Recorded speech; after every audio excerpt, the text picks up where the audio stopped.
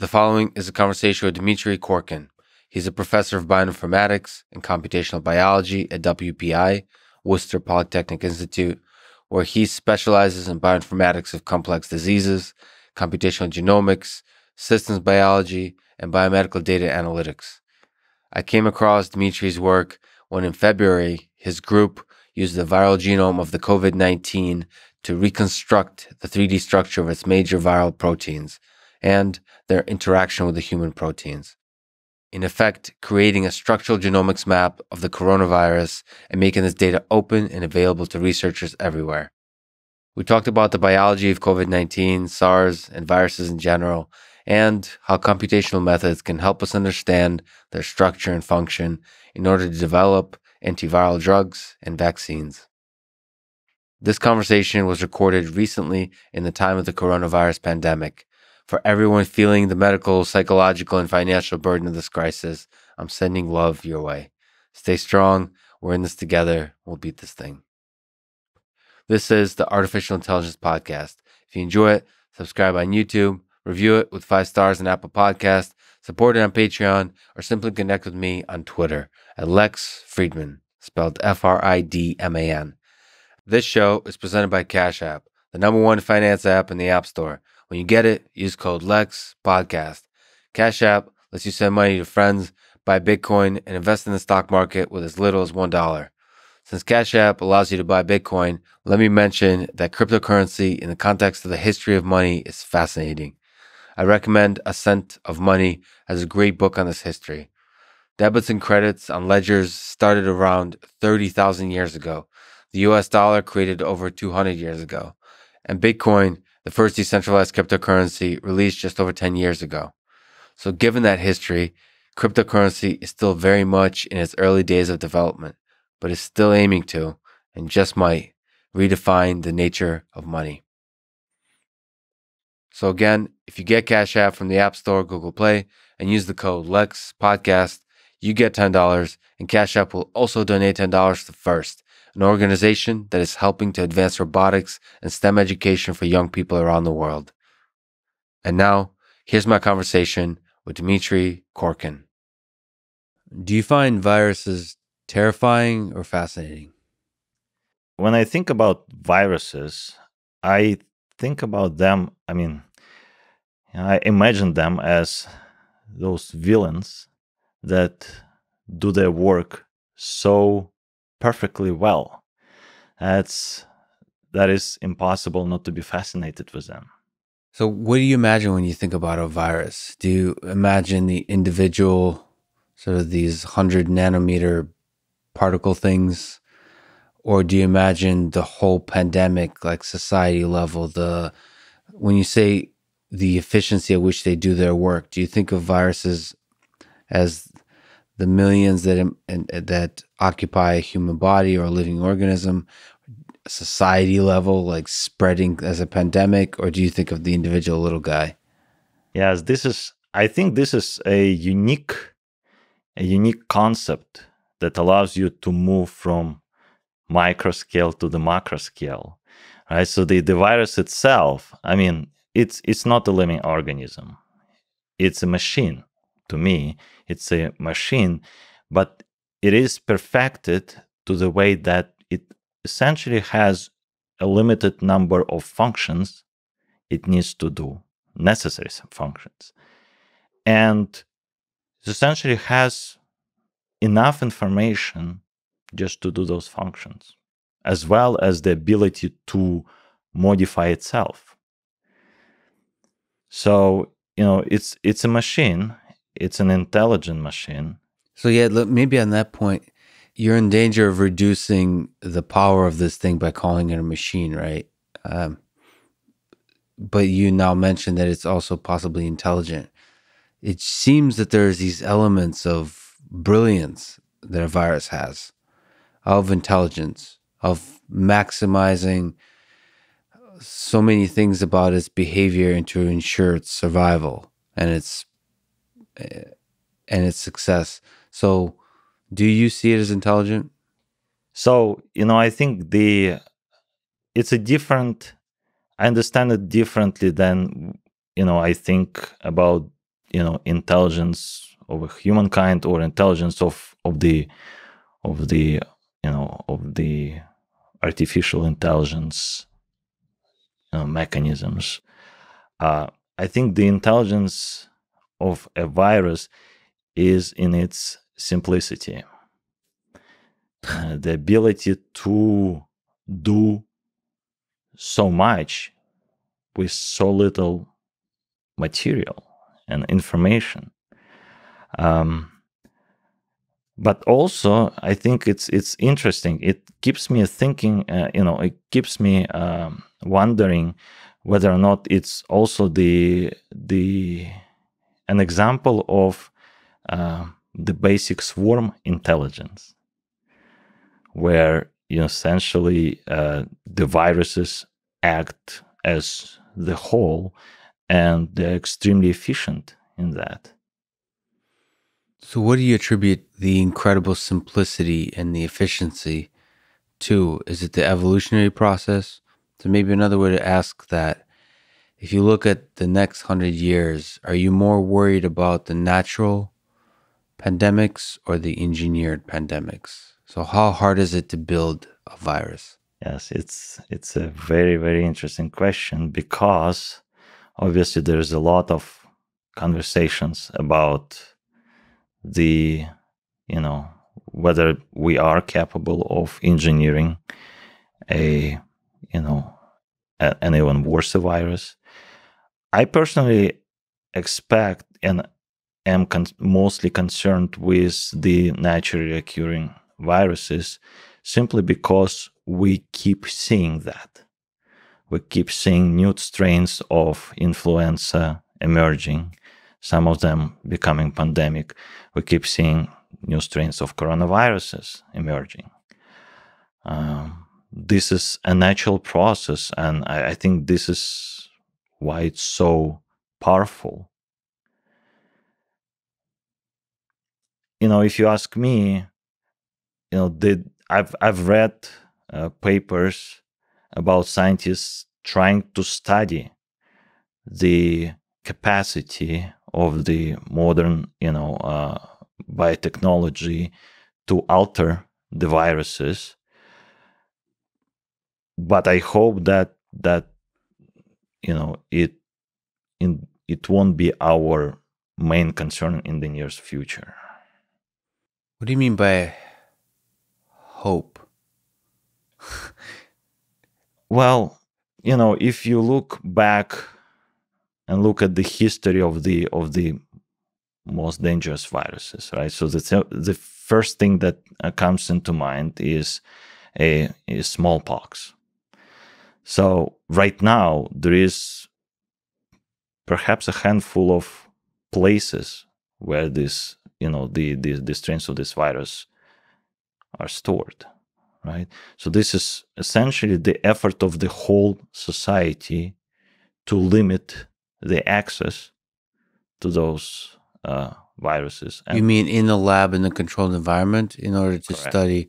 And then smallpox is one of the viruses for which um, sh- should be stated there's a vaccine is developed. Yes, yes, and it's you know it's uh, until seventies. It I mean, in my opinion, it was perhaps the most dangerous thing that was there.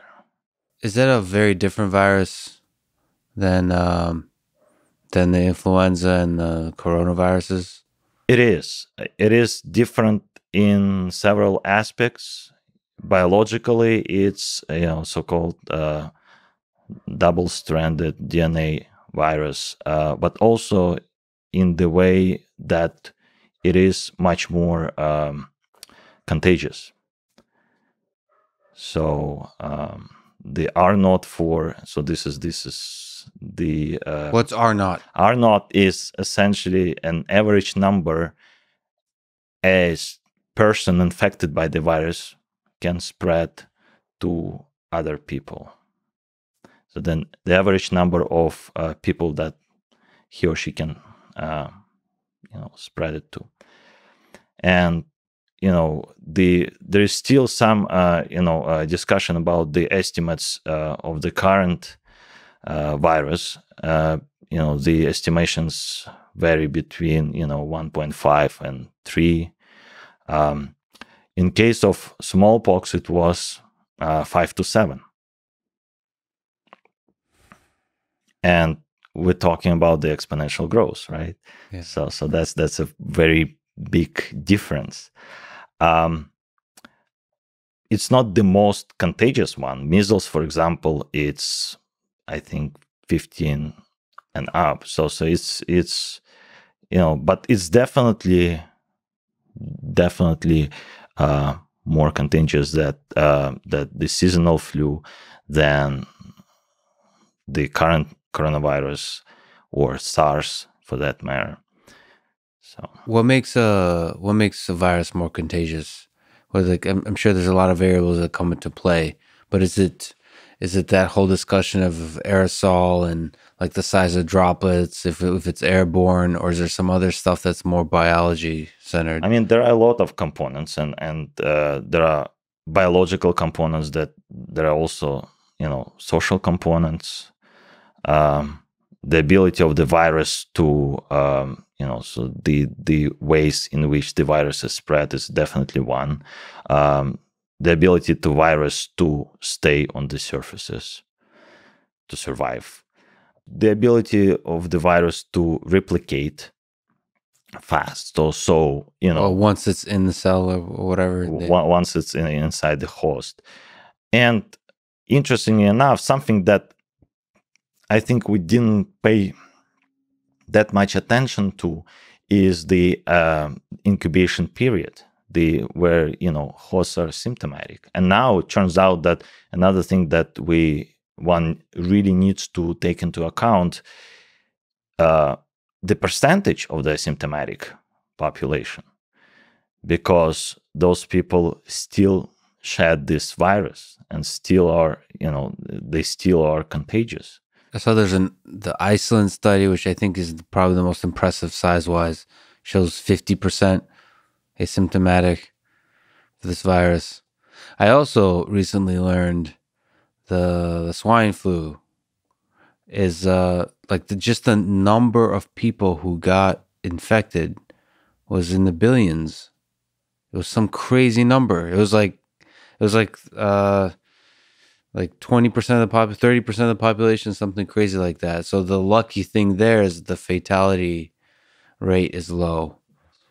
But the fact that a virus can just take over an entire population so quickly yes. it's terrifying. I think i mean this is you know that's perhaps my favorite example of a butterfly effect. Because it's really i mean it's, it's even tinier than, than a butterfly and look at you know and with you know if you think about it right? So it, it used to be in in those bat species. And perhaps because of you know a couple of small changes in in the in the viral genome it first had you know uh, become capable of jumping from bats to human. And then it became capable of jumping from human to human right? So this is this is i mean it's not even the size of a virus it's the size of several you know uh, several atoms or says you know a few atoms. And all of a sudden this change has such a major impact. So is that a mutation like on a single virus? Is that like so if we talk about those the the flap of a butterfly wing like what's the first flap well, I think this is the the the mutations that make that made this virus capable of jumping from bat species to human. And of course, there's you know the scientists are still trying to find. I mean, they're still even trying to find the the who was the first infected, right? The patient zero, the first human, yeah. the first human infected, right? Uh, I mean, the fact that there are coronaviruses different strains of coronaviruses in various bat species. I mean, we know that. So, so we, you know, uh, virologists observe them, they study them, they look at their you know, genomic sequences. They are trying, of course, to understand what make these viruses to jump from um, from bats to human. There was, you know, similar to that in you know in, in influenza. There was, I think, a few years ago, there was uh, this, um, you know, interesting story where uh, several groups of scientists studying uh, influenza virus essentially, uh, you know, made experiments to show that this virus can jump from one species to another, you know, by changing, I think, just a couple of residues, and and and of course, it was very controversial. I think uh, there was a, a, moratorium on this study for a while, but then the study was released. It was published. So that so. why was there a moratorium? Is because it shows through engineering it, through modifying it, you can make it jump. Yes. Yes. I I personally think it is important to study this. I mean, we, we should be informed. We should try to understand as much as possible in order to prevent it. But so then the engineering aspect there is can't you then just start searching because there's so many strands of viruses out there? Can't you just search for the ones in bats that are the deadliest from the vir- virologist perspective and then just try to engineer, try to see how to. But see, that's a th- there's a nice aspect to it. Uh, the really nice thing about engineering viruses is it has the same problem as nuclear weapons. Is it's hard for it, it to not to lead to mutual self destruction. So you can't control a virus. It can't be used as a weapon, right?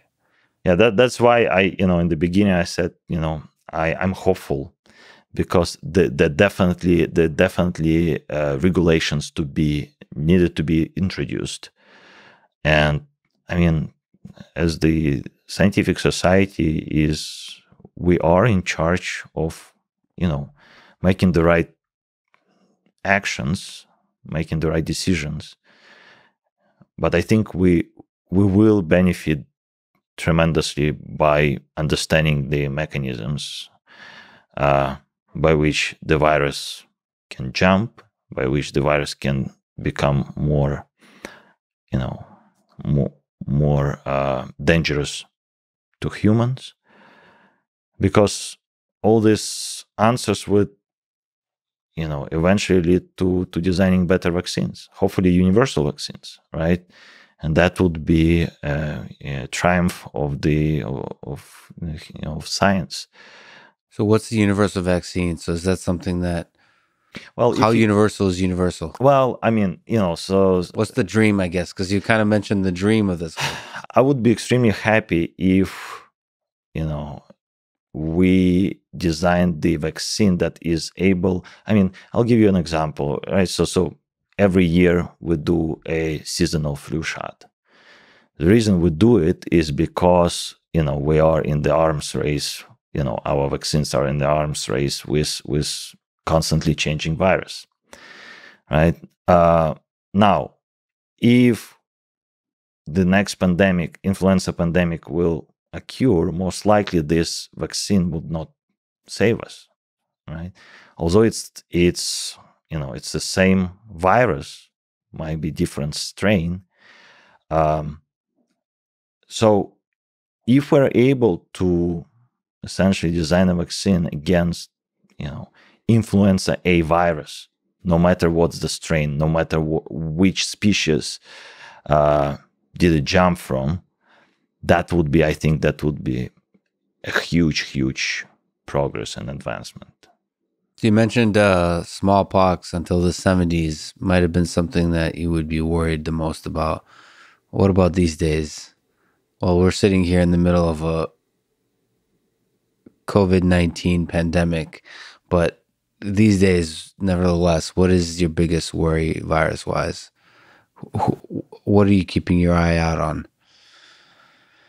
It looks like, uh, and you know, based on the uh, past several years of the of the new viruses emerging, I think we're still uh, dealing with different types of influence. I mean, so so the H7 and 9 uh, avian uh, flu that was uh, that emerged, I think, a couple of years ago in China. I think the the the uh, mortality rate was incredible. I mean, it was you know I think above thirty percent. You know, so this is this is huge. I mean, luckily for us, this strain was not pandemic right? So it was jumping from birds to human but i don't think it it it was actually transmittable between the humans. And you know this is actually a very interesting question uh, which uh, scientists try to um, understand right? So the balance the delicate balance between the virus being very contagious right? So um, uh, efficient in spreading. And virus to be uh, very pathogenic you know causing you know uh, harms you know and and deaths to to their hosts so it looks like that the more pathogenic the virus is the less contagious it is. Is that a property of biology or what is it what is the, i i don't do have an answer to that and I, I i think this is this is still an open question but you know if you look at uh, you know with the coronavirus, for example, if you look at you know the the deadlier relative MERS, MERS was never a, a pandemic virus. Right. But the you know the again the the mortality rate from MERS is far above you know I think twenty or thirty percent. So. So whatever is making this all happen doesn't want us dead because it's balancing out nicely. I mean, uh, how do you explain that we're not dead yet? Like, because there's so many viruses and they're so good at what they do. Why do they keep us alive? I mean, we As, we also have you know a lot of protection, right? So so we do the right? immune system, and so uh, I mean, we we do have you know ways to to fight against those viruses, and I think with the I now we're much better equipped, right? So with the discoveries of vaccines, and you know, there are vaccines against the the viruses that maybe 200 years ago would wipe us out completely but because of these vaccines, we are actually we are capable of eradicating pretty much fully, as is the case with smallpox. So, if we could, can we go to the basics a little bit of uh, the biology of the virus? How does a virus infect the body? So, I think there are some key steps that the virus needs to perform. And of course, the first one, the viral particle needs to get attached to the host cell. In the case of coronavirus, there is a lot of evidence that uh, it actually interacts in the same way um, of the uh, as the SARS coronavirus. So it uh, gets attached to ACE2 human receptor. And so there is, I mean, as we speak, there is a growing number of papers suggesting it. Uh, moreover, uh, most recent I think most recent results suggest that the, this virus attaches more efficiently to this human receptor than SARS. So just to sort of back off, uh, so there's a family of viruses, the coronaviruses, and SARS, whatever the heck, forgot this is respiratory, whatever that stands for. Uh, so SARS actually uh, stands for the disease that you get is the syndrome of acute respiratory, respiratory uh, syndrome. Yeah. So SARS is the first strand, and then there's MERS. MERS, is, is and there is family. So, and there is yes, but uh, people, scientists actually know more than three strands. I mean, so there is uh, the MHV uh, strain, uh, which is considered to be a canonical um, model, disease model um, in mice. And so there is a lot of work done on on this virus oh, because it, it's but it hasn't jumped to humans yet? No no oh interesting. yes. That's fascinating. Uh, so, uh, and then you mentioned AC2. So the when you say attach, proteins are involved Yes. on both sides. Yes. So so we have you know so we have this infamous spike protein on the surface of uh, the virion particle, and it does look like a spike. And I mean that's essentially because of this protein. You know we call the coronavirus coronavirus. So so that what makes corona on top of the uh, surface. Um, so so this vi- uh, this uh, protein it actually it acts. So it doesn't act alone. It actually it makes a, a three copies and it, it it makes so-called trimer. So this trimer is essentially a functional unit a single functional unit that in, starts interacting um, with the ac2 um, receptor. So this is again another protein that now sits on the surface of a human cell or host cell i would say um, and that's essentially in that way the virus anchors itself to the host cell. Because then it needs to actually it needs to get inside you know it fuses its uh, membrane with the host membrane. It releases the uh, the key components. It releases its um, you know uh, rna and then essentially hijacks the um, the machinery of the cell because um, none of the viruses that we know of have ribosome, the the machinery that allows us to print out proteins. So, in order to print out proteins that are necessary for functioning of this virus, it actually needs to hijack the host ribosomes. So a virus is an RNA wrapped in a bunch of proteins, one of which is this functional mechanism of a spike protein that does the attachment and the So yeah, so so you know, so if you look at this virus, so there are you know several basic components, right? So we start with the spike protein. This is not the only surface protein, the, the protein that lives on the surface of the viral particle. So there is also uh, perhaps the uh, uh, the protein with the highest number of copies is the membrane protein. So it's essentially it forms the capsid, uh, sorry, the envelope of the protein uh, of the viral uh, particle, and uh, essentially, you know, uh, helps to maintain a certain curvature, helps to make a certain curvature. Then there is a uh, another protein uh, called uh, envelope protein or E protein, and it it actually occurs in in far less quantities. And still, there is an ongoing research what exactly does this protein do. So these are sort of the the three major surface proteins that you know make the uh, the viral envelope. And when we go inside, then we have uh, another structural protein called nucleoprotein. And the, the purpose of this protein is to protect the viral RNA. So it actually binds to the viral RNA, creates a capsid. And so the rest of the virus, uh, viral information is inside of this, you know, RNA. And,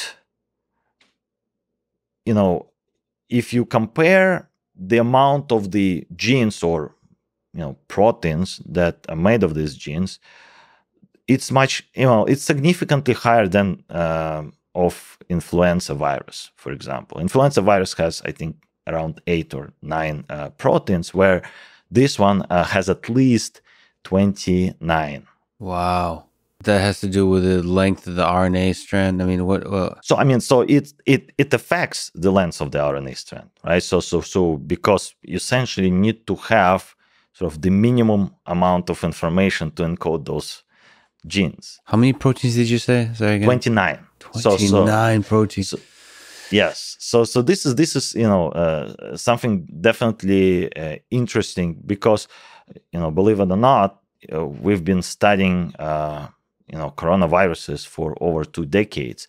We've yet to uncover all functionalities of its proteins. Could we maybe take a small tangent and can you um, Can you say how one would try to figure out what a function of a particular protein is? Hmm. So you, you've mentioned people are still trying to figure out what the function of the envelope protein might be, or what's the process? So this is where um, the research that computational scientists do might be of help, because you know, in the past several decades, we actually have collected a pretty decent amount of knowledge about different proteins uh, in different viruses. So what we can actually try to do, and this is sort of uh, could be sort of the, our first lead to a possible function, is to see whether those, you know, say we, we have this uh, genome of the coronavirus, of the, of the novel coronavirus, and we identify the potential proteins. Then, in order to infer the function, what we can do, we can actually see whether those uh, proteins are similar to those ones that we already know.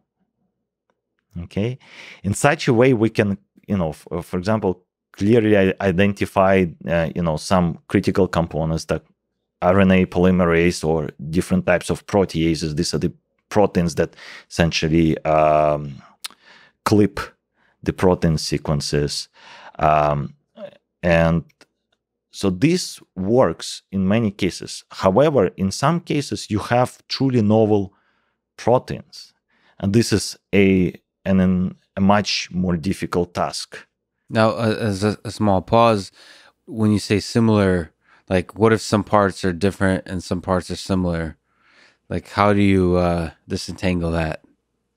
You know, it's it's a big question. Of course, you know uh, what bioinformatics does. Uh, it does predictions, right? So those predictions are they have to be validated by experiments. Functional or structural predictions? Uh, both. I mean, we, we do structural predictions, we do functional predictions, we do uh, interactions predictions. Oh, so this is interesting. So you just generate a lot of predictions, like reasonable predictions based on structure and function, interaction, like you said. And then here you go.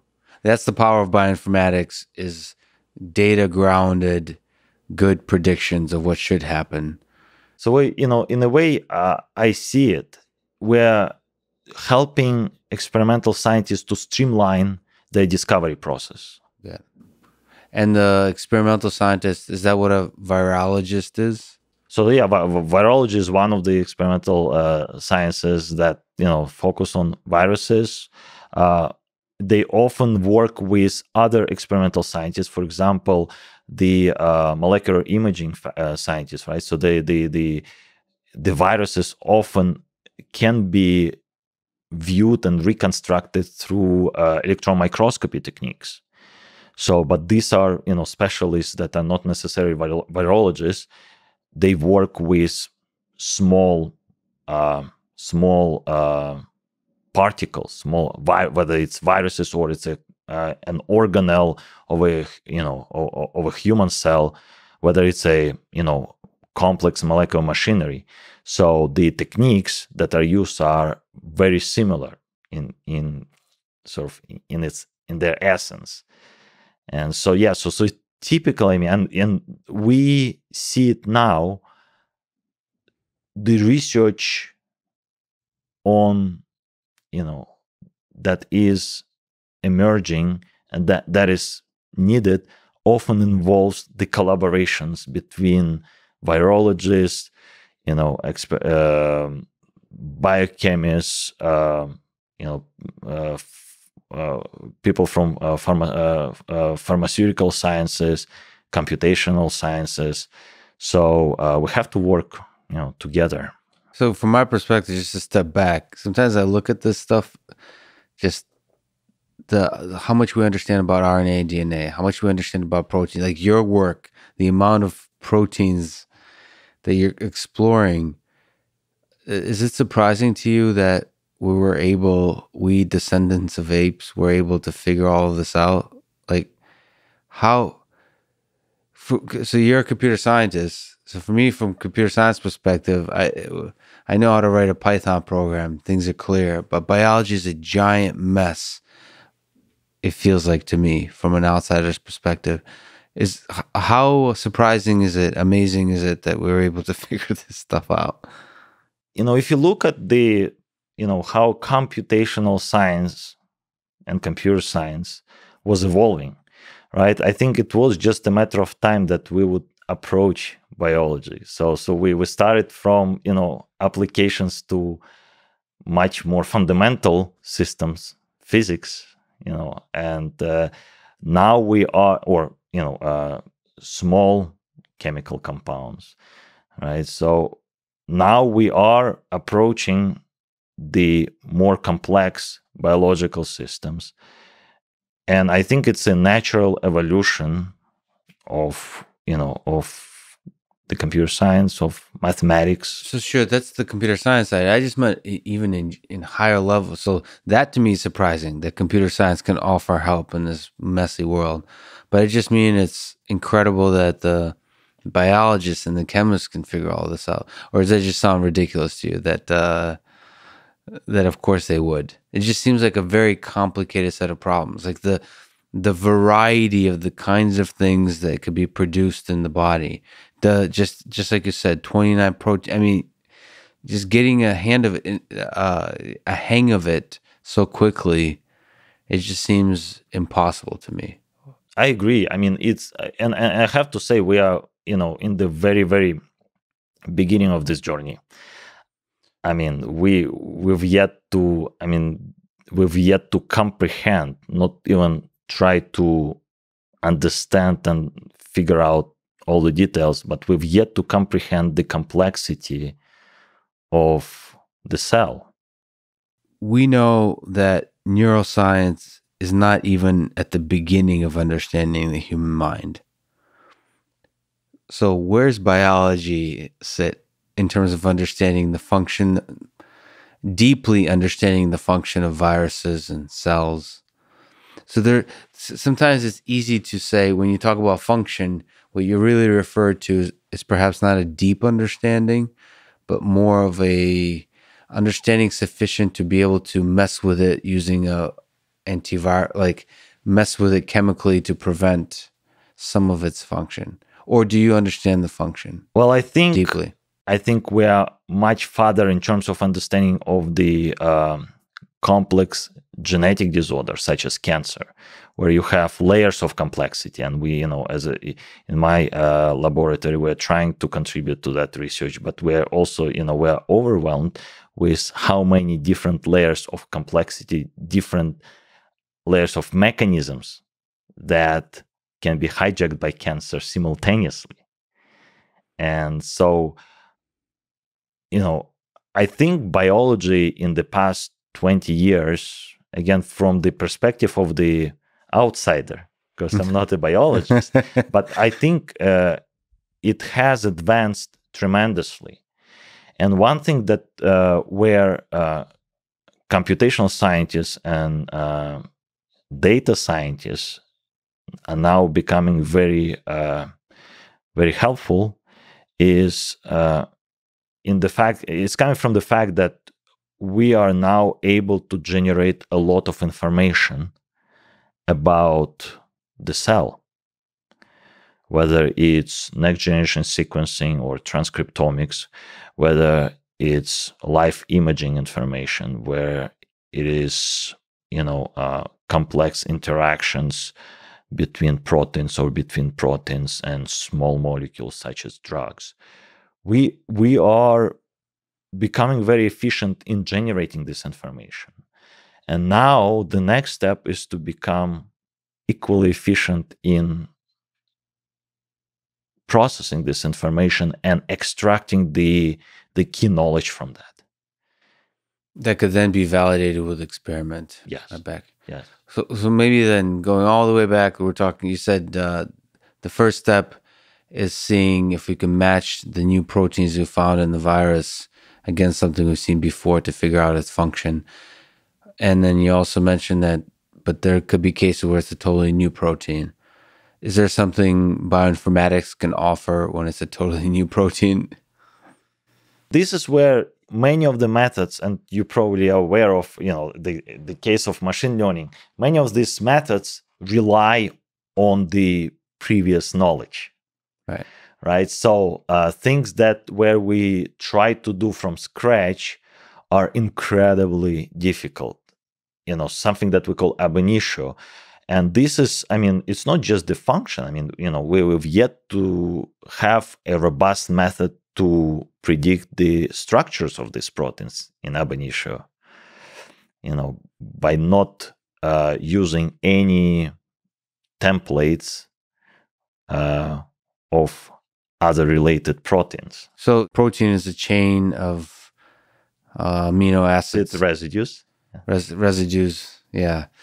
Uh, and then, however, somehow magically, maybe you can tell me, they, they seem to fold in incredibly weird and complicated 3D shapes. yes So, uh, and that that's where actually the idea of protein folding, or just not the idea, but the problem of figuring out how the yeah heck the they concept the yeah. concept, yeah, how they fold into those sh- weird shapes comes in. So that's another side of computational work. So what do you, can you describe what protein folding from the computational side is and maybe your thoughts on the folding at home efforts that Yes. a lot of people know that you can use your machine to oh yeah to, to do protein folding. So yeah, pro- protein folding is you know one of that those one million dollar price uh, challenges, right? So uh, the reason for that is we've yet to understand precisely how the protein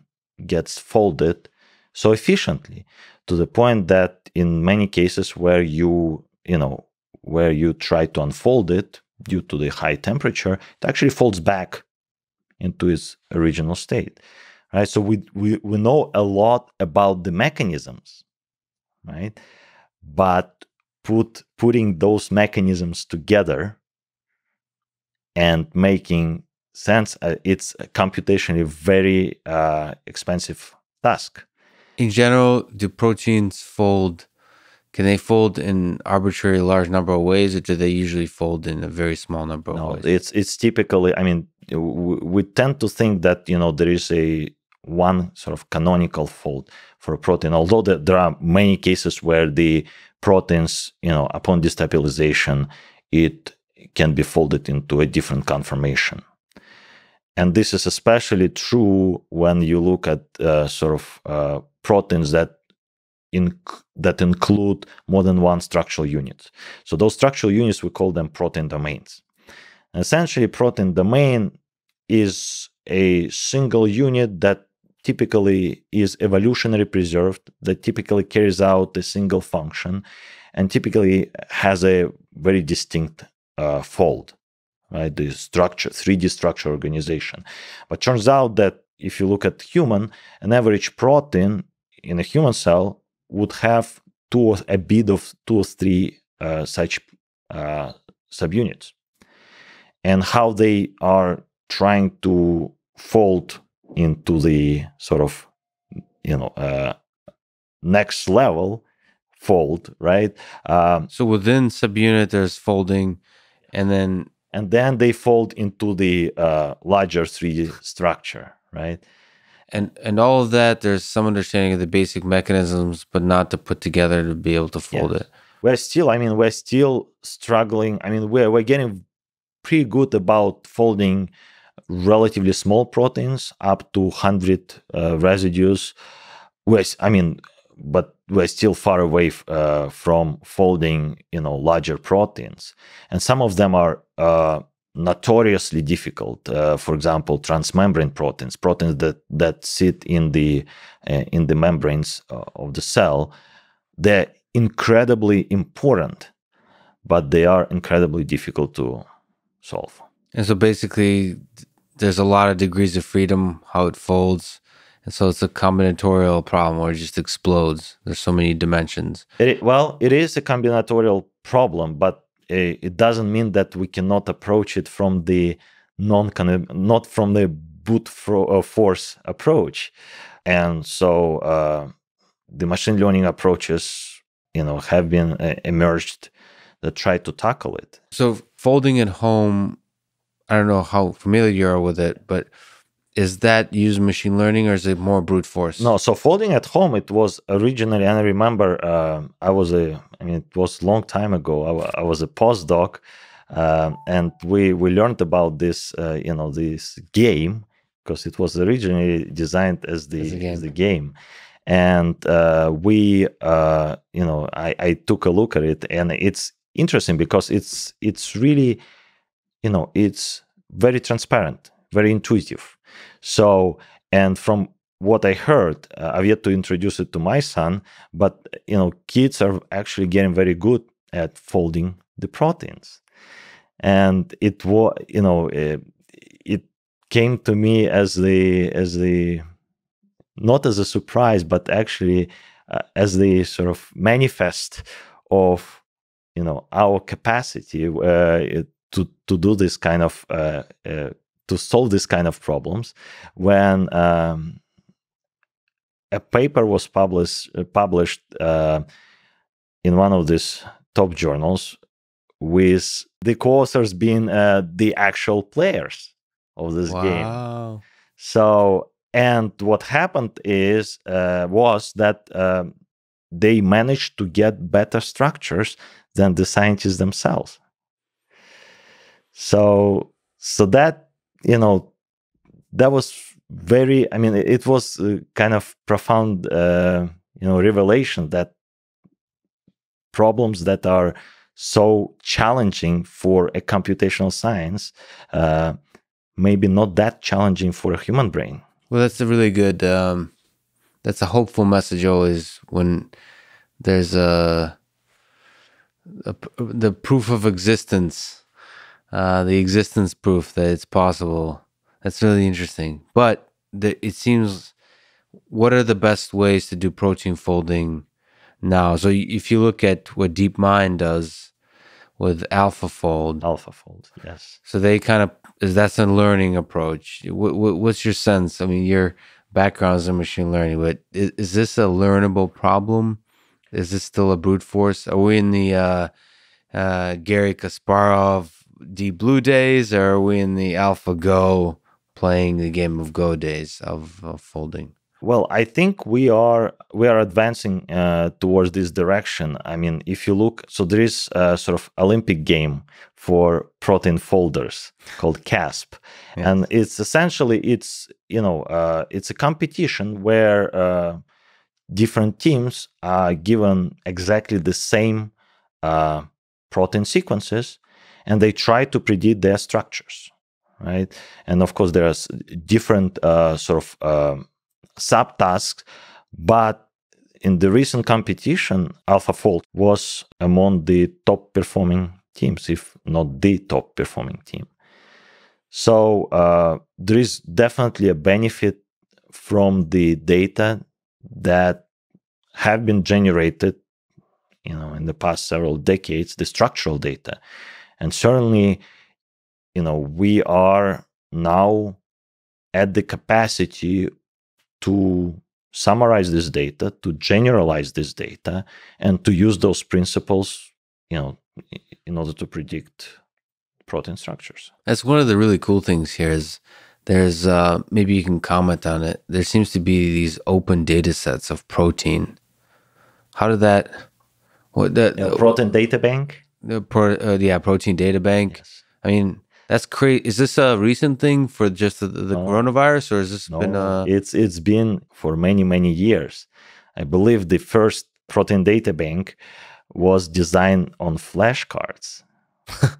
so um, on the uh, so uh, yes, it's so this. I mean, this is a great example of the community efforts of everyone contributing because every time you solve a protein or a protein complex this is where you submit it. And you know the uh, scientists get access to it scientists get to test it and we bioinformaticians use this information to you know to make predictions so there's no there's no culture of like hoarding uh, discoveries here. So this Good. I mean, you've you've uh, you've released a few uh, or a bunch of proteins that were matching. Whatever. We'll, we'll talk about details a little bit, but it's kind of amazing uh, that that's the the, the it's kind of amazing how open the culture here is. It is, and I think this pandemic actually demonstrated the ability of scientific community to you know to solve this challenge collaboratively. And this is i think it if anything it actually moved us to a brand new level of collaborations of the efficiency in which people establish new collaborations in in which people uh, offer their help to each other scientists offer their help to each other and publish results too it's very interesting Exactly. we're now trying to figure out there's a few journals that are trying to sort of do the very uh, accelerated review cycle but so many preprints so just Yes. posting a paper Yes. going out i think it's fundamentally changing the the way we think about papers Yes. I mean the the way we think about knowledge, I would Knowledge. say. Knowledge. Yes. Because yes, I completely agree. I think now it's the knowledge bec is becoming sort of the the core value, not the paper or the journal where this knowledge is Yeah. published. And I think this is again this uh, we, we are living in the in the times where it becomes really crystallized that the the idea that the most important value is in the knowledge So maybe you can comment, like, what do you think the future of that knowledge sharing looks like? So you have this paper that we'll, I hope we'll get a chance to talk about a little bit, but it has like a really nice abstract and introduction related, like it has all the usual. I mean, probably took a long time to put together. Uh, so, but is that going to remain? Like you could have communicated a lot of fundamental ideas here in much shorter amount. That's less traditionally acceptable by the journal context. so um so well you know so the first version that we posted not even on a bioRxiv because bioRxiv uh, back then it was essentially uh, you know overwhelmed with the number of submissions so so our submission i think it took five or six days to just for it to be screened and and and, and put um, online. So we you know essentially we uh, put the first preprint on our website. And it, you know it, it was it, it started getting accessed right away.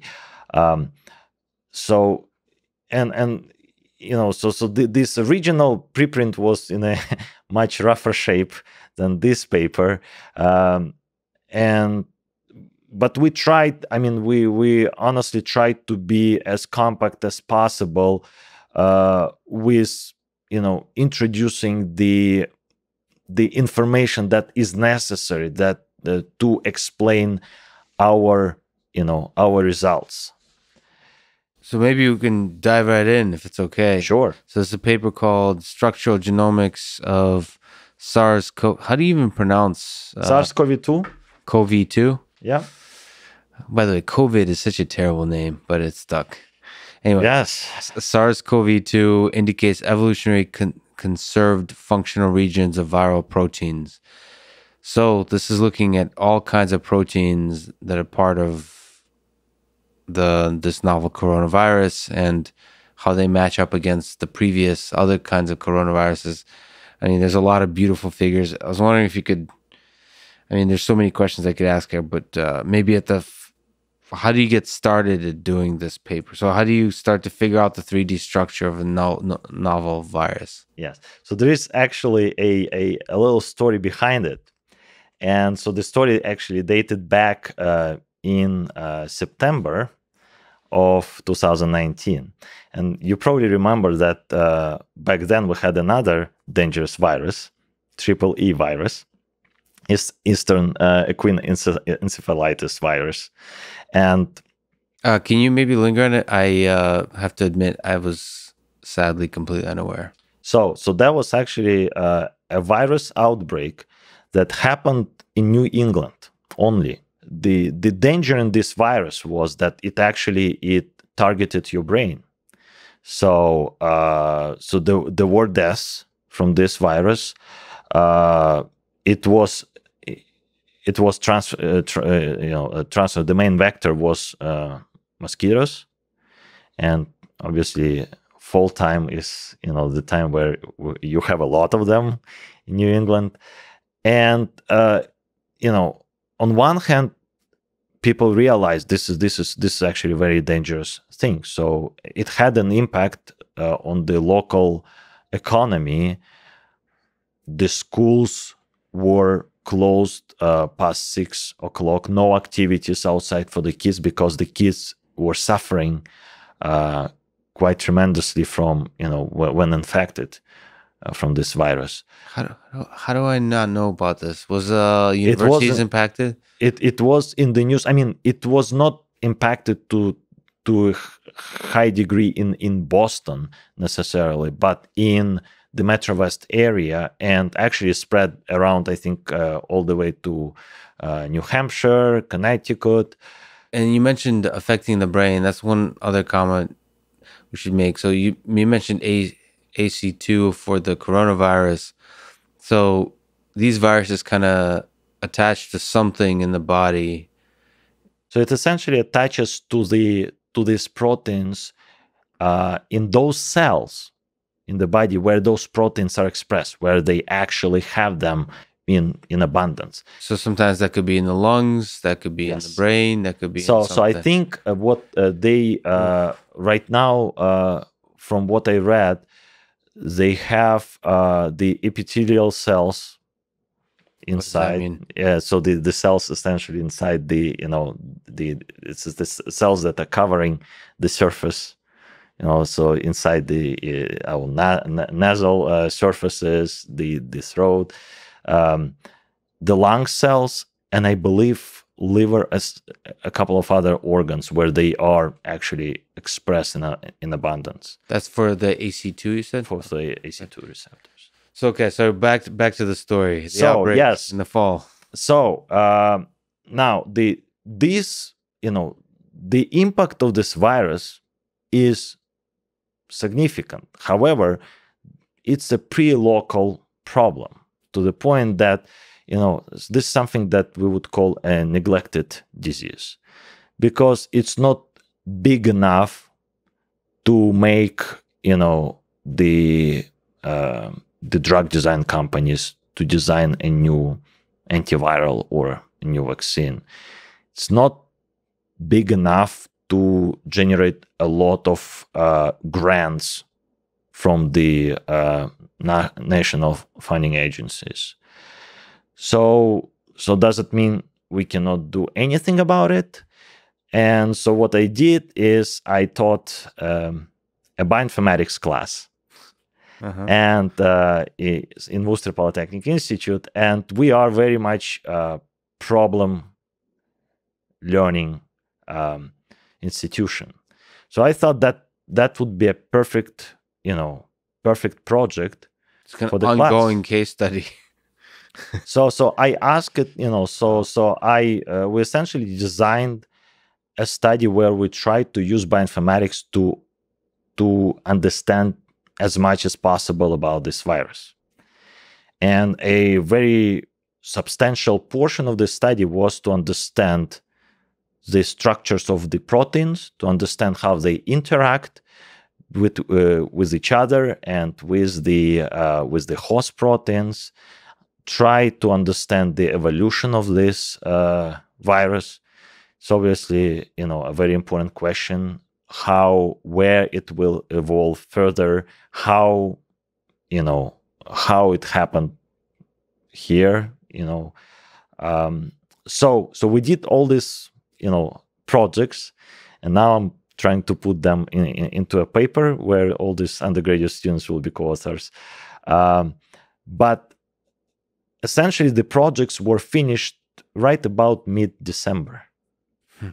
and A couple of weeks later, I heard about this mysterious new virus that was discovered in you know was reported in in Wuhan province, and immediately I thought that well, we just did that.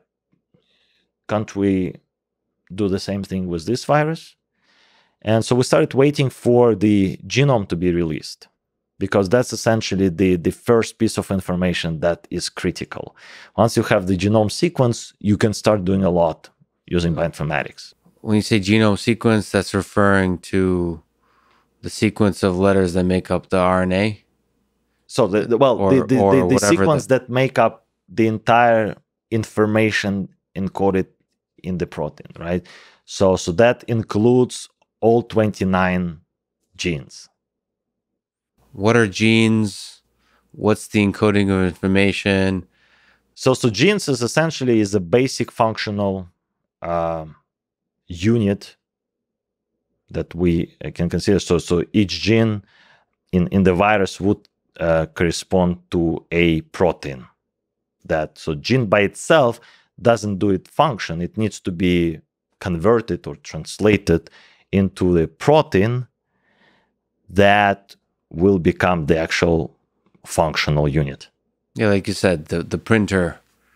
So, so we need the printer for that. We need the printer. Okay, so the the first step is to uh, figure out the that g- the genome, the sequence of things that uh, Yes. could be then used for printing the protein. So okay, So then the, the, the next step, so so once we have this, and uh, so we use the existing information about SARS because uh, the SARS genomics uh, has been done uh, in abundance. So we have different strains of uh, of SARS and actually other related cor- coronaviruses, MERS, uh, the bat coronavirus, um, and we started by identifying the potential genes because right now it's just a sequence, right? So it's a sequence that is roughly um, it's less than thirty thousand nucleotide uh, long, and just uh, the raw sequence. it's a raw sequence. no other information really. And uh, we now need to define the boundaries of the genes that would then be uh, used to identify the protein and protein structures. How hard is that problem? It's not, I mean, it's pretty straightforward. So, um, you know, so because we use the existing information about uh, SARS proteins and pr- SARS genes, So once again, you kind of we are relying on the yes. So uh, and then once we get there this is where sort of uh, the first more uh, traditional bioinformatics steps uh, step begins uh, we're trying to use these protein sequences and um, get the 3d information about those proteins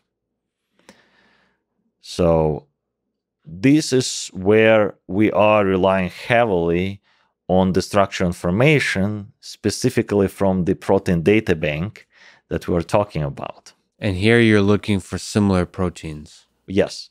So, so the, the concept that we are operating when we do this kind of modeling, it's called homology or template-based modeling. Uh, so essentially, uh, using the concept that if you have two sequences that are similar in terms of the letters, the structures of the sequences are expected to be similar as well. And this is at the micro, at the at the very local scale, and, and At, at, at the scale of the whole protein. at the whole protein. Yeah. right so actually so you know so uh, of course the devil is in the details and this is why we need actually uh, pretty sophisticated uh, modeling tools to do so um, once we get the structures of the individual proteins uh, we uh, try to see whether or not these proteins act alone or they have to be forming protein complexes in order to perform this function. And again, so this is sort of the next level of the modeling because now you need to uh, to understand how proteins interact and it could be the case that the protein uh, interacts with itself and makes sort of a, a, a multimeric uh, complex. The same protein just repeated multiple times, and uh, we have quite uh, quite a few such proteins uh, in uh, SARS-CoV-2. Specifically, uh, spike protein needs three copies to function. envelope protein needs five copies to function and there are some other multimeric complexes. Well, that, that that's what you mean by interacting with itself. There needs to be multiple copies.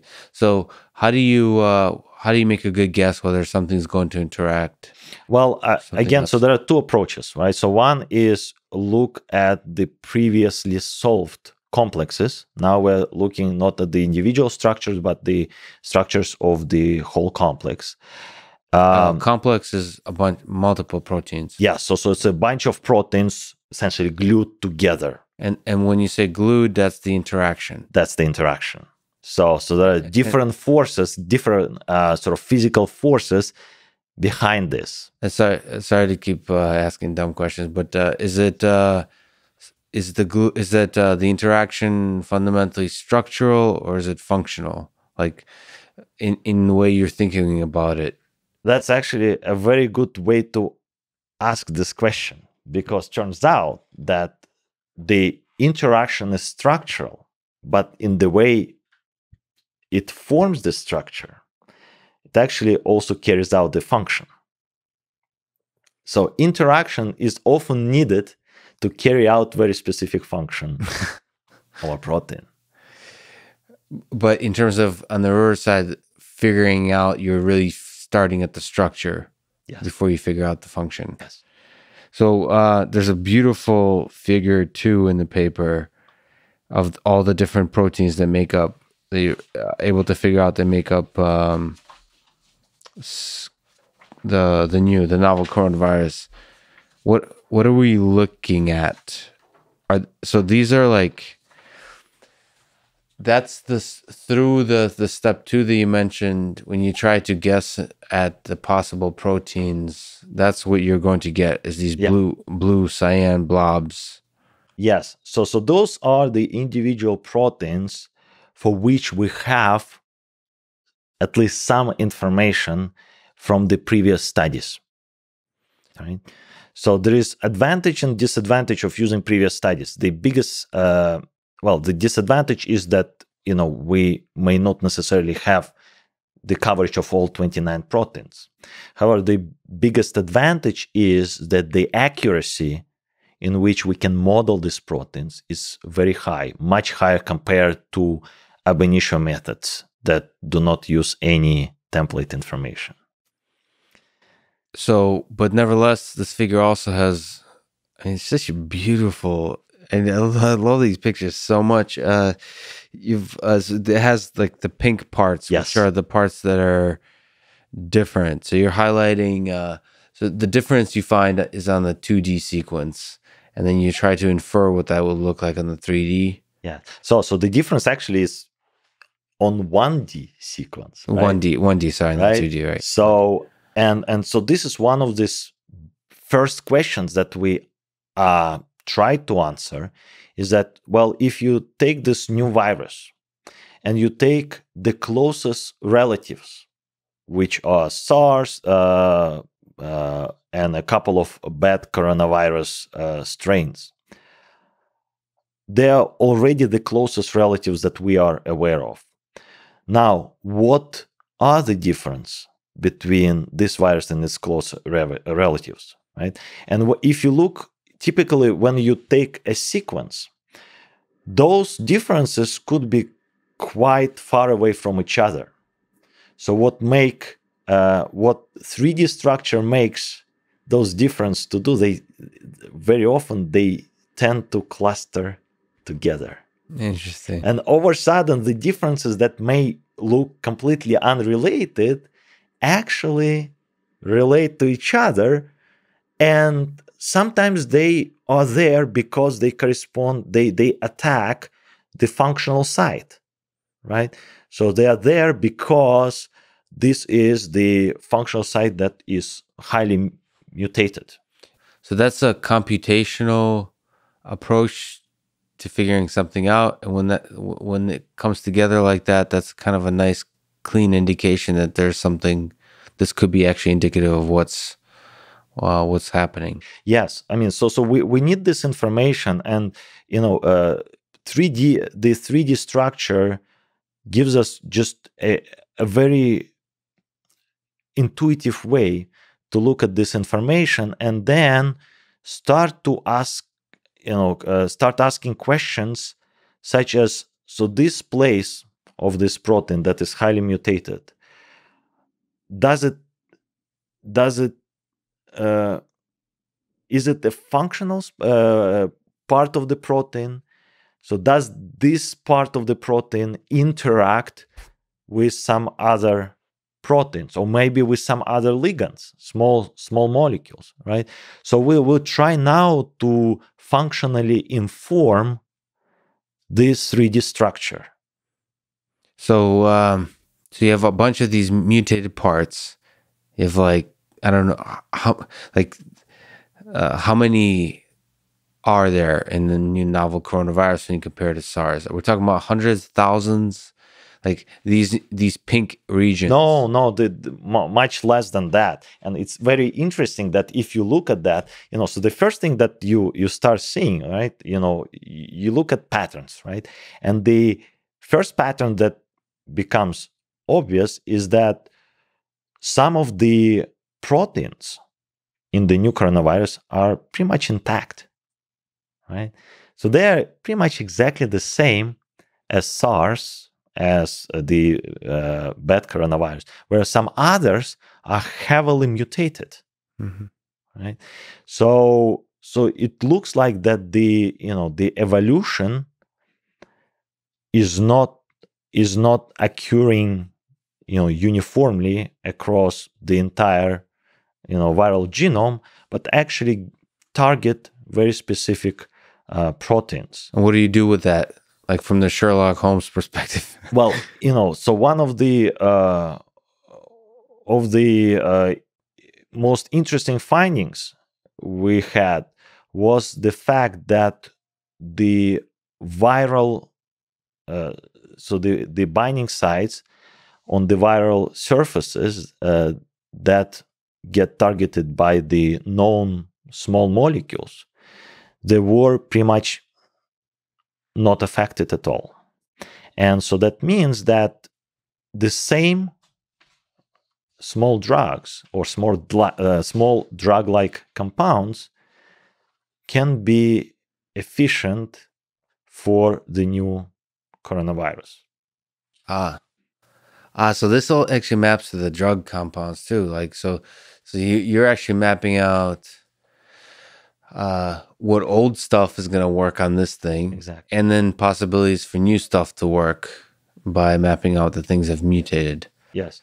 So so we essentially know which parts Amazing. behave differently and which parts are likely to behave similar.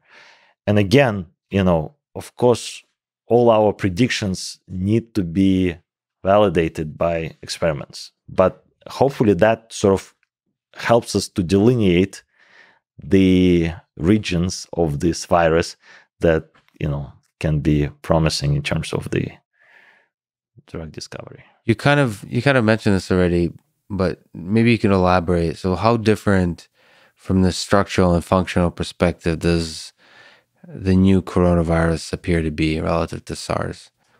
We now are trying to understand uh, the overall structural characteristics of this virus because I mean that's that's our next step, trying to model the viral particle of a single viral particle of this virus. So that means so you have the individual proteins, like you said, you have to figure out what their interaction is uh, so you have this. Is that where this graph kind of interactome?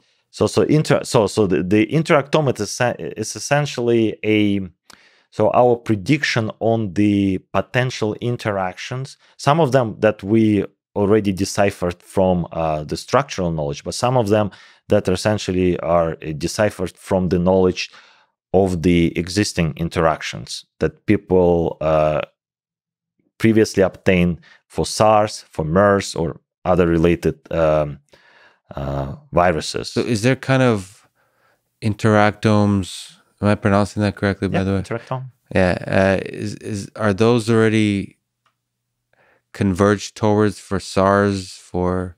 So there, I think there there, there is uh, there are a couple of papers that uh, now investigate the uh, sort of the large scale uh, set of uh, sets of interactions between uh, the new SARS and uh, its host. And so I think that's that's an ongoing study. I think And the success of that, the result would be an interactome. yes, And so when you say not trying to figure out the entire the so particle, the, entire thing. particle, right? So if you look, you know, so structure, right? So what this viral particle looks like, right? So as I said, it's it's you know the surface of it is an envelope, which is essentially a, a so-called lipid bilayer uh, with proteins integrated into the surface. So how so so an average particle is around um, 80 nanometers, right? So this particle can um, have about 50 to 100 spike proteins. Uh, So at, at least we suspect it, and you know, based on the micrographs images, it's very comparable to MHV virus in mice and SARS virus Micrographs are actual pictures of the actual. virus. Okay, so th- these are models. This is actual. these are the, the, the actual images, right? What do they? Sorry for the tangents, but what do these things? look- So uh, when you look on the internet, the models and the pictures are, and kind of, and the models you have here are just gorgeous and beautiful. Uh, when you actually take pictures of them with a micrograph, like what? What do we look? Well, they typically are not perfect, right? So, so the most of the images that you see now is the is the sphere with those spikes. You actually see the it. spikes? You actually Yes, you do see the spikes, and uh, now uh, you know the our collaborators for Texas and uh, A&M uh, University, um, uh, Benjamin Newman, uh, he actually uh, in a recent paper about SARS he proposed, and there is some actually evidence uh, behind it that the particle is not a sphere but is actually as an elongated ellipsoid like uh, particle. So, uh, so that's what we are trying to incorporate into our model. And the re- I mean, you know, if you look at the actual micrographs, you see that those particles are, you know, are not symmetric. So the the the some of them, and of course, you know, it could be due to the treatment of the of the material. It could be due to the um, some noise in the imaging. Right. So there's a lot of uncertainty in all this. So it's okay. So structurally figuring out the entire part. By the way, again, sorry for the tangents, but uh, why the term particle? Or is it just something it's that's it's, it's a it's a single, you know. So we call you know we call it virion. So virion particle. It's essentially a single virus. single virus, but it just feels like because particle to me, from the physics perspective, feels like this the most basic unit. Because there seems to be so much going on inside the virus. Yeah. It doesn't feel like a particle to me. Yes. Well, yeah. It's it's probably. I think it's the, the uh, you know virion is is a good Virion. way to call it. So okay, so tr- trying to figure out, uh, trying to figure out the entirety of the system. Yes. So you know, so you know, so this is so the virion has fifty to hundred uh, spikes, Spike. trimer spikes. It has roughly two hundred to four hundred um, uh, membrane protein dimers.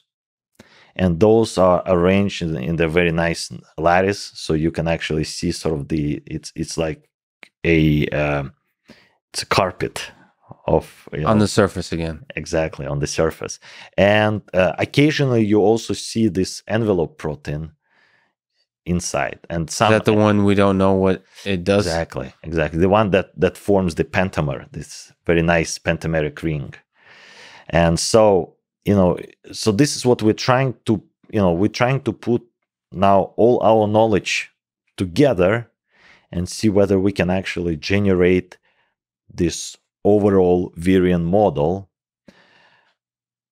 with an idea to understand you know well first of all to understand how uh, how it looks like how far it is from those images Right. that were uh, ge- generated but i mean the implications are you know uh, there is a potential for the you know uh, nanoparticle design that will mimic this uh, virion particle Is the process of nanoparticle design, meaning artificially designing something that looks similar? Yes, you know, so so so uh, the one that can potentially compete with the actual virion particles, and therefore reduce the effect of the infection.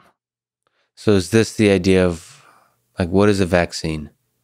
So vaccine, vaccine. So so yeah. So there are two ways of essentially treating, and in the case of vaccine, is preventing the infection. So vaccine is um, you know a way to train our immune system. So our immune system becomes aware of this new danger, and therefore is capable of generating the antibodies then will essentially bind to uh, the spike proteins because that's the main target for the you know for, for the vaccines design. And um, block its functioning. If you have the spike with the antibody on top it can no longer interact with ac2 receptor. So the the process of designing a vaccine then is you have to understand enough about the structure of the virus itself to be able to create an artificial uh, an artificial particle. Well, I mean, so so, so the nan- nanoparticle is is a very exciting and new research. So there are already established ways to, you know, to make vaccines, and there are several different uh, ones, right? So so there is one where uh, essentially the the virus uh, gets through the cell culture multiple times, so it becomes essentially a you know adjusted to the to, to the uh, specific embryonic cell, and as a result, become uh, becomes less uh, you know compatible with the you know host human cells. So and therefore it's sort of the the, the idea of the uh, life vaccine where the the, the particles uh, are there but they are not so efficient you know so they, they cannot replicate you know as rapidly as you know uh, before the vaccine. And th- th- they can be introduced to the immune system. The immune system will learn and uh, the person who gets this vaccine won't won't get you know uh, sick or you know will have mild uh, you know mild symptoms. So then there is sort of uh, different types of the way to introduce the non-functional uh, uh, non-functional parts of this virus uh, or the virus where some of the uh, information is stripped down. For example, the virus with no genetic uh, material. So, so we with So no RNA genome exactly. So it cannot replicate. It cannot essentially uh, perform most of uh, its functions. This is fascinating. But uh, what is the biggest hurdle to design one of these to, to arrive at one of these? Is it the work that you're doing in the fundamental understanding of this new virus, or is it in the, from my perspective, well, complicated world of experimental validation and sort of showing that this, like going through the whole process of showing this is actually going to work with FDA approval, all that kind of stuff? I think it's both. I mean, you know, our understanding of the molecular mechanisms will allow us to, you know, to design, to have more efficient designs of the vaccines. Um, however, the once you design a vaccine, it, it needs to be tested. But when you look at the 18 months and the different projections, it seems like an exceptionally, from historically speaking, maybe you can correct me, but this even 18 months seems like a very accelerated timeline. It is. It is. I mean, I remember reading uh, about the, you know, in a book about some previous uh, vaccines that it could take up to 10 years to design and, you know, properly yeah. uh, test a vaccine before its mass production. So yeah, we, we you know everything is accelerated these days. I mean, for better for worse, but but you know we we definitely need that. Well, especially with the coronavirus, I mean, the scientific community is really stepping up and working together. The collaborative aspect is really interesting. Uh, you mentioned uh, so vaccine is one, and then there's antiviral Antivirals. antiviral drugs. So antiviral drugs. So where you know vaccines are typically needed to prevent the infection, right? But once you have an infection, one, one you know, so what we uh, try to do, we try to stop it. So we try to stop uh, virus from functioning, and so the the antiviral drugs are designed to block some critical functioning of the uh, of the proteins uh, from the viral uh, from the virus. So uh, there are a number of interesting candidates, and I think uh, you know if you ask me, uh, I you know I think remdesivir is perhaps the most promising. Uh, it's it has been shown to be um, you know uh, an, an, efficient uh, and effective antiviral uh, for uh, SARS.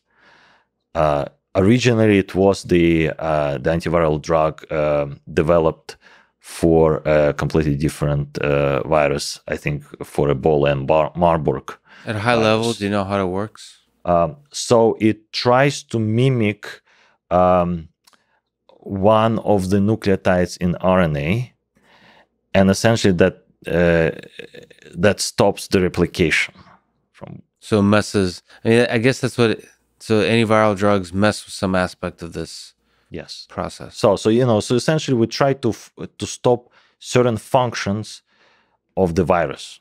There are some other ones, uh, you know, uh, that are designed to inhibit the protease, the the thing that clips uh, protein sequences.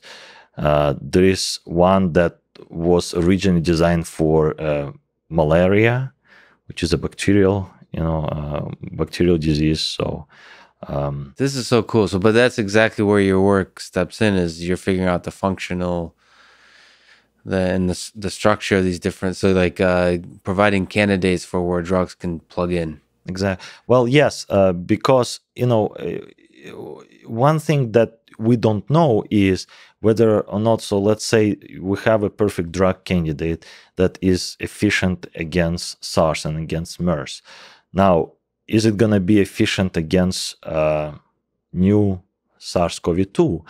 We don't know that, and there are multiple uh, aspects that can affect this efficiency. So, uh, for instance, if the uh, the binding site, so the, the the the part of the protein where this ligand gets attached. If this site is mutated, then the ligand may not be attachable to this part any longer. And uh, you know our work and the work of other uh, bioinformatics groups, you know, essentially are uh, trying to understand whether or not that will be the case. Uh, or uh, and it looks like for for the ligands that we uh, looked at, um, the ligand binding sites are pretty much intact, which is very promising. So if we can just like zoom out for a second, what are you optimistic? So there's two, well, there's three possible ends to the coronavirus pandemic. So one is there's or drugs or vaccines get figured out very quickly probably drugs first. The other is the the the pandemic runs its course uh, for this wave at least, and then the the third is you know things go much worse. in some in some dark, bad, very bad direction. Do do you see? Let's focus on the first two. do you see uh, the anti drugs or the work you're doing being relevant for us right now in us stopping the pandemic, or do you hope that the pandemic will run its course? So the social distancing, things like uh, wearing masks, all those discussions that people are having, will be the the method with which we fight coronavirus in the short term, or do you think that it'll have to be antiviral drugs? I think uh, I think antivirals would be. Uh, I would view that as the at least the short term solution. I see more and more uh, cases in the news of uh, those new drug candidates being administered in hospitals, and I mean, this is right now the best what we have. But do we need it I in order do. to reopen We- the economy? I What mean, you we, think? we, we we definitely need it. I I cannot sort of speculate on how that will affect reopening of the economy because we are, you know, we are kind of deep in into the pandemic, and it's not just the the states; it's also you know worldwide. Um, you know, um, of course, you know there is also the possibility of the second wave as we you know uh, as you mentioned and uh, this is why you know we need to be super careful we need to follow all the uh, precautions that the doctors tell us to do Are you worried about the mutation of the virus? So, it's of course a, a real possibility. Now, how, to what extent this virus can mutate, it's an open question. I mean, we know that it is able to mutate, to jump from one species to another, and to to become transmittable between humans, right? So will it you know so uh, let's imagine that we have the new antiviral uh, will this virus become eventually resistant to this antiviral we don't know i mean this is what needs to be studied so it's such a beautiful and terrifying process that a virus, some viruses, may be able to mutate to respond to the, to mutate around the thing we've put before it. Can you explain that process? Like, how does that happen? Is just is that just the way of evolution? I, I would say so yes i mean it's it's the evolutionary mechanisms there is nothing imprinted into this virus that makes it you know it it just the way it it evolves and uh, actually it's the way it co-evolves with its host It's just amazing. It's especially the evolution mechanism is especially amazing given how simple the virus Yes. is. It's incredible that it's. Uh, I mean, it's, it's beautiful. It's beautiful because it's the one of the cleanest examples of evolution working. Well, I think I mean the one of the uh, sort of the reasons for its simplicity is because it does not require all the necessary functions to be stored, right? So it actually can hijack the the majority of the necessary functions from the host cell. Right? So so so so the ability to do so, in my view, reduces the complexity of this uh, machine drastically. Although, if you look at the you know most recent discoveries, right? So the scientists discovered viruses that are as large as bacteria, right? So this Mimi viruses and Mamaviruses. It actually those discoveries made scientists to reconsider the origins of the virus you know and what are the mechanisms and how you know uh, what are the mechanisms, the evolutionary mechanisms that leads to the appearance of the viruses. By the way, I mean you did mention that viruses aren't. I think you mentioned that they're not living. Yes, they are not living organisms. But let me ask that question again. Uh, why do you think they're not living organisms? Well, because they they are dependent. Uh, the majority of the functions of the virus are dependent on the on the host. So let me so, do the devil's advocate. Let me be the philosophical uh, devil's advocate here and say, well, humans, which we would say are living, need our host planet to survive. So you can basically take every living organism that we think of as definitively living, it's always going to have some aspects of it of its host that it needs, of its environment. So is that really the key aspect of why a virus is that dependence? Because it seems to be very good at uh, doing so many things that we consider to be intelligent. It's just that dependence part.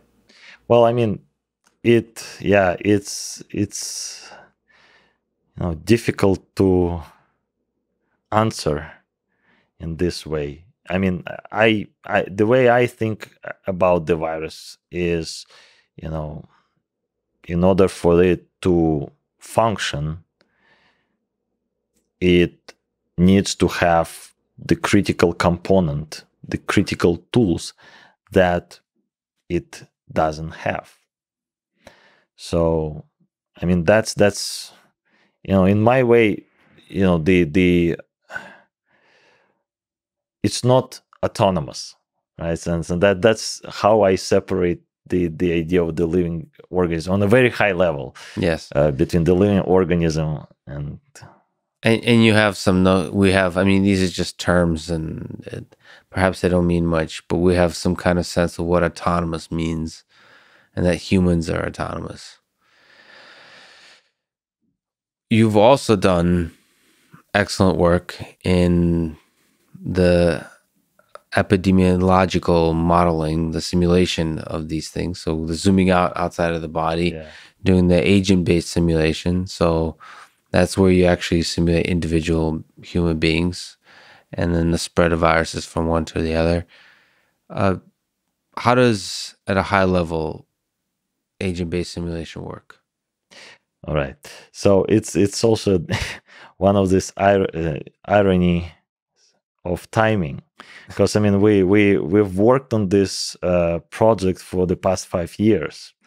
And uh, the new year's eve i got an email from my phd student that you know the last experiments were co- completed. And you know uh, three weeks after that we get we get this diamond princess story and emailing each other with the same, you know, the, the same news saying like. so uh, the Diamond Princess is a cruise ship. Yes. And uh, what was the project that you worked on? So, so the project, years? I mean, it's. Uh, you know the code name it started with a bunch of undergraduates uh, the code name was uh, zombies on a cruise ship so they they wanted to essentially model the the you know zombie apocalypse uh, apocalypses on a cruise ship yeah. and and uh, you know after having you know some fun we then thought about the fact that you know uh, if you look at the cruise ships i mean the infectious outbreak is has been one of the biggest threat uh, you know threats to the um, cruise ship economy so perhaps the most uh, you know frequently occurring is the norwalk virus um, and this is essentially one of these stomach flus that you have. And, you know, it it can be quite devastating, you know, so there are occasionally there are cruise ships get you know they they they, they get canceled they get returned to the back to the uh, to the origin and uh, so we wanted to study, and this is very different from the traditional epidemiological studies where the scale is much larger.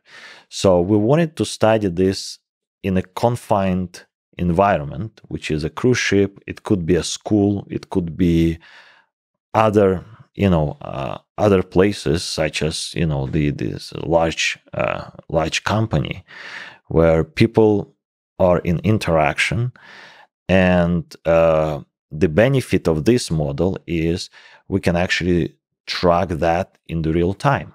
So we can actually see the whole course of the evolution uh, uh, the, the whole course of the interaction between the uh, infected pass uh, infected uh, host and you know the host and the pathogen etc so so agent based uh, system or multi agent system to be uh, precisely um, is a good way to approach this um, problem because we can uh, introduce the behavior of the um, of the passengers of the cruise and uh, what we did for the first time that's where you know uh, we introduce some novelty is we introduce uh, a pathogen agent explicitly. So that allowed us to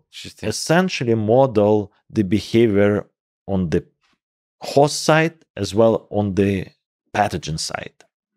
And over sudden we can uh, we can have a flexible model that uh, allows us to integrate all the key parameters about the infections.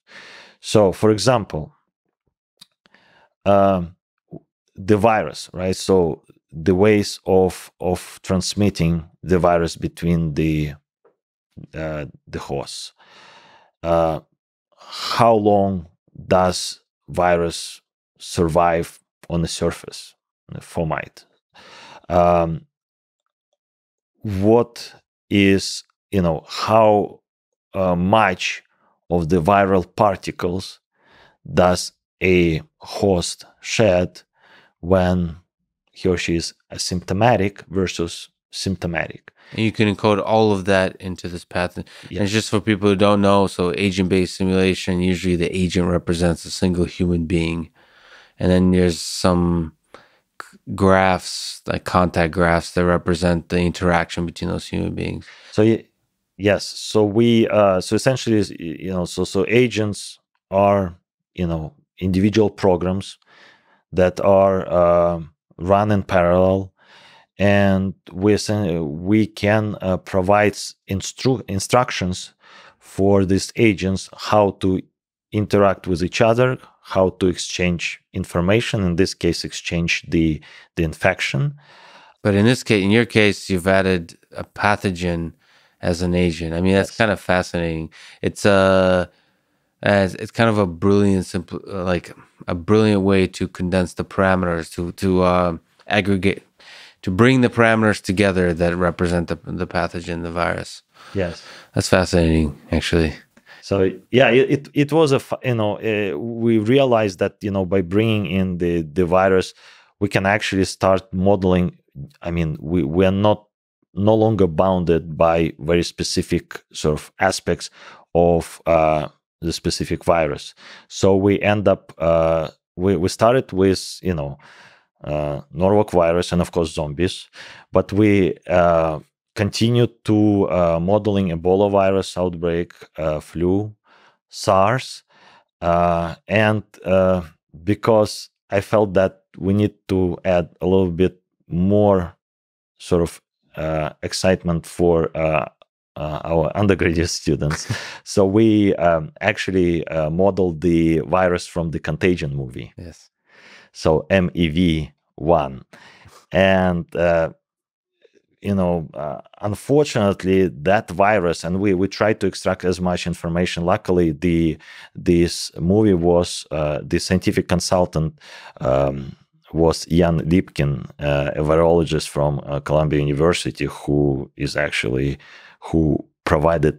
I think he designed this virus for this movie based on Nipah virus, and I think with some uh, ideas behind SARS or flu, like airborne viruses.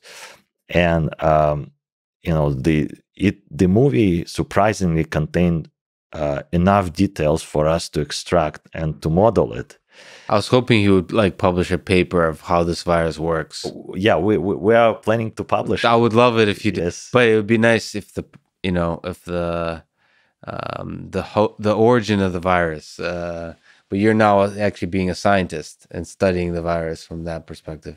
but the origin of the virus you you you know I, you know the first time I, actually so this movie is assignment number one in my bioinformatics class that I uh, that, that I give Yeah. because it uh, it also tell it tells you that you know bioinformatics can be of use because if uh, if I don't know you watched it have you watched it A long time ago, yeah. so so there is you know approximately a week from the you know virus detection, we see a screenshot of uh, scientists looking at the structure of the surface protein. Uh-huh. And this is where I tell my students that you know if you ask a experimental biologist, uh, they would tell you that it's impossible because it takes months, maybe years to get the crystal structure of this, you know, the, the structure that is represented. If you ask a bioinformatician, they tell you, sure, why not? You know,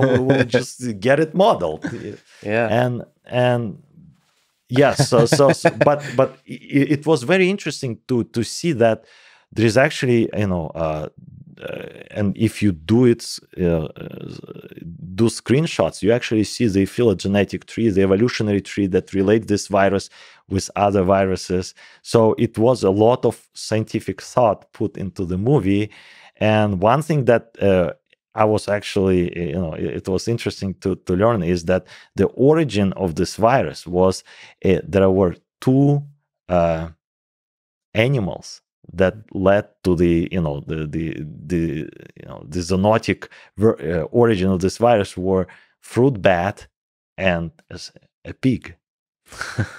so you know, so so so this this, is this is this very- doesn't feel like we're this this definitely feels like we're living in a simulation.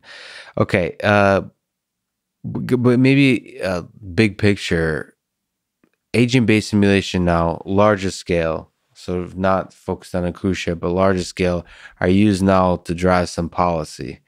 So politicians use them to tell stories and narratives and try to figure out how how to move forward under so much so much uncertainty. But in your sense are agent based simulation useful for actually predicting the future?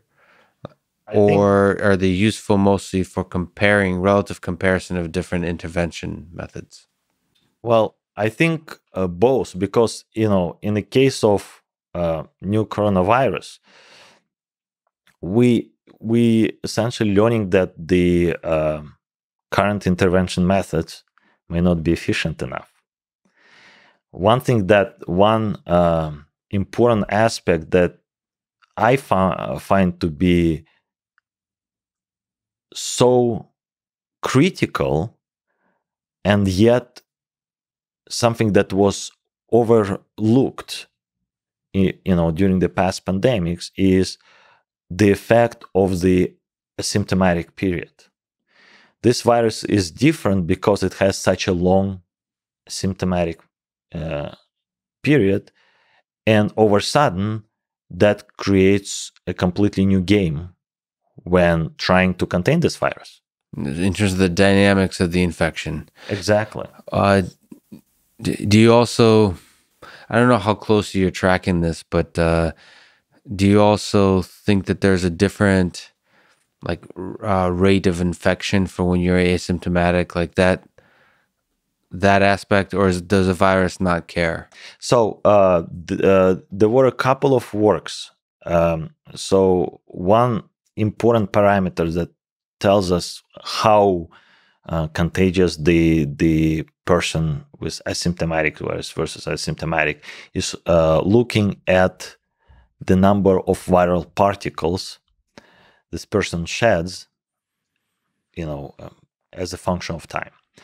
Um, so so far, what I saw is uh, the study that um, tells us that the you know the person during the asymptomatic uh, period is already contagious and it sheds uh, the person sheds uh, enough viruses to infect yeah, and, another host. And I think there's so many excellent papers coming out, but I, I think I just saw some maybe a Nature paper that said the first week is when you're symptomatic or asymptomatic, you're the most contagious. So the highest level of, uh, of the like they they plot sort of in the 14 day period they collected a a bunch of subjects and I think the first week is when it's the most intense. Yeah, I I think I mean I, I'm waiting. Crazy. I'm waiting to see sort of more uh, uh, more populated studies, right? right. This, uh, with higher numbers. Um, my uh, one of my favorite studies was uh, again a very recent one where uh, scientists determined that um, tears are not contagious. so so there is you know so there is no viral shedding done through through tears. So they found one moist thing that's not contagious, and I mean there's a lot of I'm I've personally been because I'm on a survey paper uh, somehow that's looking at masks, and there's been so much interesting debates on the efficacy of masks, and there's a lot of work, and there's a lot of interesting work on uh, whether this virus is airborne. I mean, it's a totally open question. There's it's leaning one way right now, but it's a totally open question whether it can travel in aerosols long distances. I mean, do you have a do you think about the stuff? Do you track this stuff? Are you focused on the yeah? The I mean, bioinformatics you know, of it. I mean, the, the, this is uh, this is a very important aspect for our epidemiology study. Um, I think the I mean, and it's sort of a a very simple uh, sort of idea, but uh, I agree with people who say that uh, the mask the masks work in both the, uh, in both ways. So it not only it protects you from the you know incoming viral yeah. particles, it also prote- you know it it you know makes the potentially uh, contagious person not to spread the viral particles. Who is when they're asymptomatic may not even exactly. know that they're exactly. In fact, there, it seems to be there's evidence that they don't uh, surgical and certainly homemade masks, which is what's needed now, actually, because there's a huge shortage of. They don't work as to protect you that well. They work much better to protect others. So it's uh, so it's it's a motivation for us to um, all wear one. Yeah, exactly. Because I mean, you know, very... you don't know where you know, uh, and you know, uh, about thirty percent, as far as I remember, at least thirty percent of the asymptomatic cases are completely asymptomatic. Yeah. Right. So you don't really cough. You don't. Uh, I mean, you don't have any symptoms, yet you shed viruses. Do you think it's possible that we'll all wear masks? So I, I wore a mask at the grocery store, and you just you get looks. I mean, this was like a week ago. Maybe it's already changed because uh, I think CDC or somebody's. I think the CDC has said that we should be wearing masks. Like LA, they're starting to happen. But do you? It just seems like something that this country will really struggle doing, or no? I hope not. I mean, you know, it it was interesting. I was looking through the uh, through the old pictures during the Spanish flu, mm-hmm. and you could see that the you know pretty much everyone was wearing masks with some exceptions and there were like you know uh, sort of iconic uh, photograph of the i think it was san francisco this uh, tram who was refusing to let in a uh, you know someone without the mask so i think well you know it's also eh, you know it's related to the fact how, oh, you know how much we are scared right so, how much do we treat this problem seriously? And, you know, my take on it is we should, because it is very serious. Yeah, I, I, from a psychology perspective, just worry about the entirety, the entire big mess the, of a psychology experiment that this is. Whether masks will help it or hurt it. You know, masks have a way of distancing us from others by removing the emotional expression and all that kind of stuff. But at the same time, masks also signal that uh, I care about your well-being. Exactly. So it's a really interesting uh, yeah. trade-off. That's just a. Uh, but yeah, it's it's interesting, right? About distancing. Uh, aren't we distanced enough? right. Exactly. I. Uh, and when we try to come closer together when they do reopen the economy, um, that's going to be a, a long road of rebuilding trust and not not all being huge germaphobes. Yes. Let me ask, sort of. Um, you have a bit of a Russian accent. Russian or no? Russian accent. Russian. Russian. So, uh, were you born in Russia? Yes, and yeah, you you're too kind. I have a pretty thick Russian accent. um, what are your favorite memories of Russia? So I um, so I moved first to Canada and then to the uh, to the United States uh, back in '99.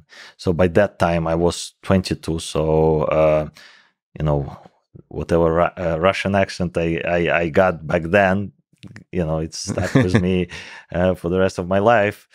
Um, you know it's yeah. So I you know uh, by the time the Soviet Union collapsed, I was you know I was a kid but sort of you know old enough to to realize that there are changes. And uh, did you want to be a scientist back then? Oh what? yes. Oh yeah. I mean my first uh, the first sort of uh, 10 years of my sort of uh, you know uh, juvenile life i wanted to be a pilot of a passenger jet plane. Wow. So yes, it, it was like you know, uh, and I was getting ready, um, you know, to to go to a college to get the degree, but I've been always uh, fascinated by science, and you know, so uh, not just by math. Uh, of course, math was one of my favorite subjects, but you know, bi- biology, chemistry, physics. Somehow, I I you know, I liked those four subjects together. And um, yeah, so so so essentially after a certain period of time, I wanted to actually uh, back then it, it was a very popular uh, um, sort of uh, area of science called cybernetics. Mm-hmm. So it's sort of it's not really computer science, but it's it was like you know computational robotics. Yes, in, in this sense, and so I really wanted to to do that, and but then you know I uh, you know I, I realized that you know uh, my biggest passion was in mathematics and uh, later i uh, you know when uh, you know studying in uh, moscow state university i also realized that i really want uh, to apply the the knowledge. So i really wanted to to mix you know uh, the mathematical knowledge that i get with real life problems.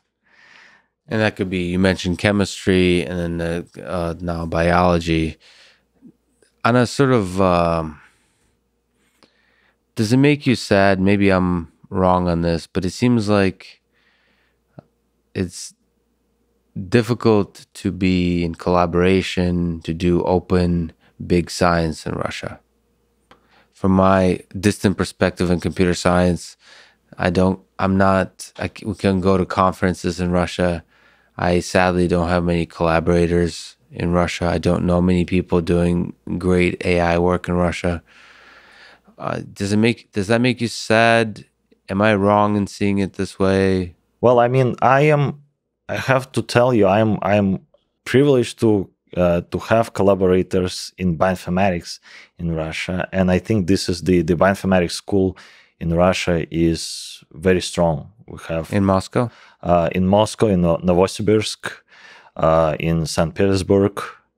Uh, have uh, great collaborators in uh, Kazan. And uh, so, at least, uh, you know, in terms of, um, you know, uh, my area of research, There's strong We- people there. yeah, strong people, a lot of great ideas, very open to collaborations. So I, I, I, I perhaps you know, it's my luck, but uh, you know, I haven't experienced, uh, you know, the, any difficulties in establishing collaborations. But that's So- bioinformatics, though. It could be bioinformatics too, and it could, uh, yeah, it's it could be person by person related. But I just don't feel the warmth and love that I would. You know, you, you talk about the the seminal people who are French in artificial intelligence. France w- welcomes them with open arms in so many ways. I, I just don't feel the love from Russia. I, I do on the human beings, like people in general, like friends and and just cool, interesting people. But from the scientific community, no conferences, no big conferences, and it's uh, Yeah, it's actually you know I I'm, I'm trying to think. Yeah, I, I cannot recall any any big AI conferences in Russia. It has an effect on uh, for me. I haven't sadly been back to Russia, so I can't. But my problem is it's very difficult. So I'm now I have to re- renounce citizenship. Oh, is that right? I mean, I'm a citizen in the United States, and it makes it very difficult. There's a mess now, right? So Yeah. I want to be able to travel, like, you know, legitimately. Yeah, yeah. And uh, it's it's not it's not an obvious process. They don't make it super easy. I mean, that's part of that. Like, you know, it should be super easy for me to travel there. Well, you know, uh, hopefully, this unfortunate cir- circumstances that we are in will actually promote the the remote collaborations Yes. and i think we we've ju- i think what we are experiencing right now is that you still can do science you know being quarantined in your Yeah. own homes Yeah. Especially when it comes i mean you know I, I certainly understand there is a very challenging time for experimental sciences i mean i have many collaborators who are you know who are affected by that but for computational scientists Yeah, we're really leaning into the remote communication. Nevertheless, I had to force you to talk to you in person because there's something that you just can't do in terms of conversation like this. I don't know why, but in, in person is very much needed. So I really appreciate you doing it. Uh, you have a collection of science bobbleheads, yes which look amazing. Which uh, which bobblehead is your favorite, and uh, which real world version? Which scientist is your favorite? That yeah so yeah uh, by the way i was trying to bring it in but they are quarantined now. In my in my office they sort of demonstrate the social distance so they're nicely spaced uh, away from each other. But um, so you know it's interesting. So i've been i've been collecting those bobbleheads uh, for the past maybe 12 or 13 years and it you know interestingly enough it started with the two bubble heads of watson and crick and um, interestingly enough, my last bobblehead in this collection for now, and my favorite one, because I, I felt so good when I got it, was the Rosalind Franklin. Hmm. And um, so, so you know, when I Who got is the, it- who's the full so- group?